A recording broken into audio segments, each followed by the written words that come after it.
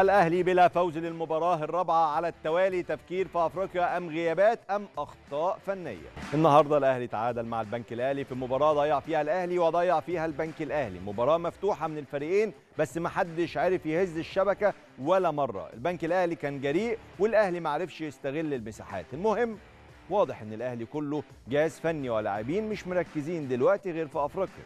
إنجاز استثنائي ينتظر الفريق بالفوز ثلاث مرات على التوالي. بس فقدان النقاط الكتير ده ممكن يودي الأهلي لخسارة الدوري للموسم الثاني على التوالي وده هيبقى برضه تعثر استثنائي.